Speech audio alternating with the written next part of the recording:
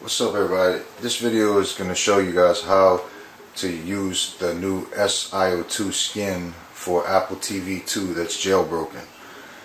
Okay, uh, in order to get these icons you see back here, you want to you want to first go down to settings, then skin settings, then you'll scroll down I have selected right here is home page customizer. Select that one. Then you want to go to whichever add-on like right here if you go to the, the uh, it's not you can't do it with the uh, TV shows and with the movies but with the music app you can uh, with the music add-on you can select it to enable it and then you go up to there custom shelf shortcuts you select that and then you go down to these and each one of these individually you just select it and then it'll bring up your list of add-ons and you can just enable you can just add whichever one you want to add.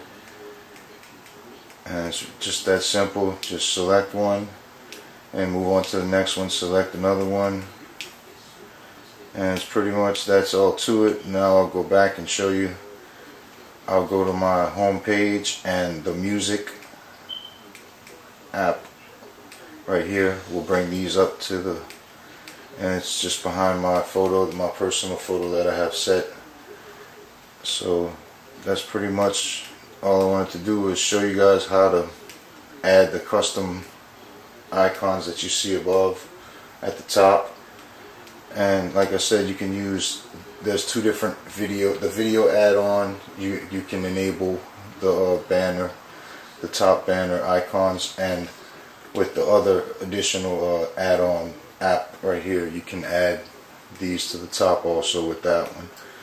Alright so that was just a quick you know how to so you could uh, make it look a little bit better with the SIO2 skin. Alright guys thanks for watching. Thumbs up and subscribe if this helps